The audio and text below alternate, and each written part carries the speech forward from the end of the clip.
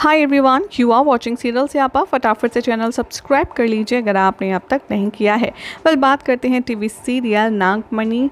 Upcoming track की तो दिखाया जाएगा कि जो काला साया है चाची के अंदर, वो कुछ ऐसी साजिश करने वाला है जिसके तहत पार्वती और यहाँ पर प्लानिंग को सक्सेसफुल बनाने के लिए यहाँ पर काला साया डिफरेंस क्रिएट करने वाला है। दामिनी और पार्वती के बीच में जी हाँ अपकमिंग ट्रैक में दिखाया जाएगा कि दामिनी जैसे ही ढूंढते ढूंढते शिवाय को आएगी कि काफ़ी देर हो गई है, शिवाय वापस नहीं आया, तभी उसका देखते ही होश उड़ जाएँगे क्योंकि कमरे में शिवाय और पार्वती दोनों एक साथ होंगे। और इतना ही नहीं, शो के अपकमिंग ट्रैक में आप देखेंगे कि पार्वती शिवाय की बाहों में होने वाली है और उन दोनों के गालों पर हल्दी लगी होगी, जिसे देखकर दामिनी का गुस्सा फूट जाएगा।